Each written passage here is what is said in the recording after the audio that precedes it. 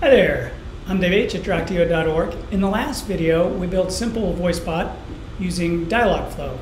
In this video, we're going to add call transfer capability to it, where jambonz is responsible for the call transfer. Let's do it. Here's the simple Dialogflow app that we created in the previous episode. Now, we're going to add call transfer to it. So how does call transfer work? Let's take a look over back at our Dialogflow bot. And there are a couple ways you can do it. In this particular bot, we have an option to talk to Chad, the author of the report. Excuse me. So if we go look at that, there's an intent that matches that request to talk to Chad, and then a follow-up intent that confirms. And if we go look at the follow-up intent, we can see down here, we've added a response for Dialogflow phone gateway. And we said we want to transfer a call to this number, which happens to be my cell phone number. So this is one way you can do it, and that information will flow back to you in the form of an intent. However, this really only works for US numbers. So if you're in a non-US, or you're transferring to a non-US destination, what you should do uh, in that case is create a custom payload and put some JSON object in there that describes how and where you want to transfer the call to. And we'll show you how to parse that out back on the jambonz side. Let's go back to our little application.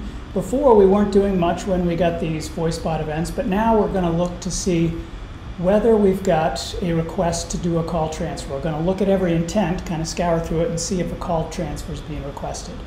To do that, we need a little JavaScript, so we're going to use a function tab.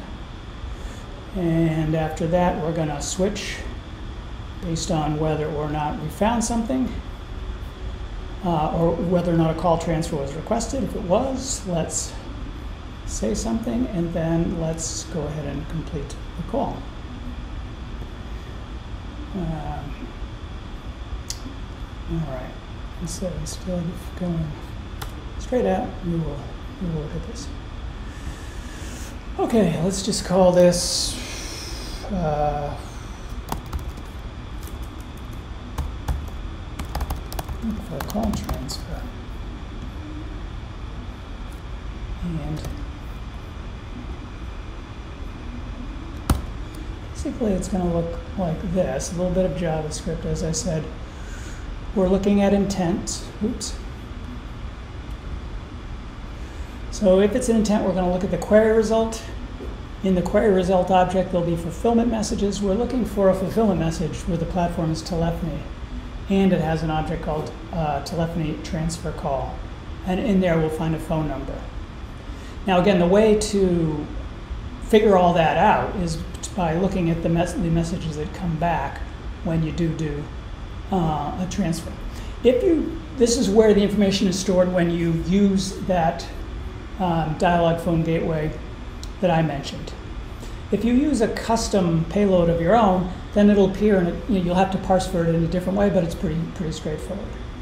Look for call transfer. Okay, so, and uh, what we're doing here is populating uh, property on the message object, message.transfer to. So let's switch based on whether that got, let's just say if message.transfer to is of type string, we're going to do one thing, which is to transfer the call. Otherwise, we'll do something else, which is nothing. So if we got that, let's say,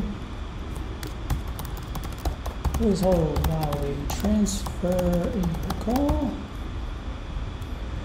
So let's go ahead and transfer it to requested number.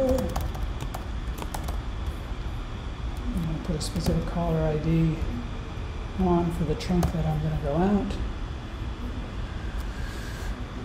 And that's it. Now in this case, I'm going to call from, I'll be calling, I'm going to call from my SIP phone since I'm going to be transferring out to my cell phone.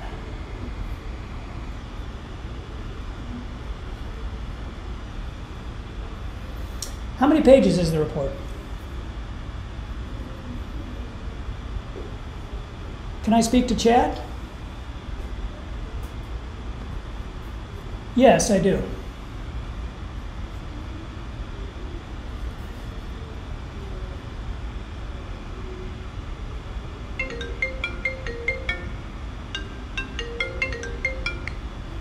Hello, hello. Here we go. Call transfer added to our little voice bot.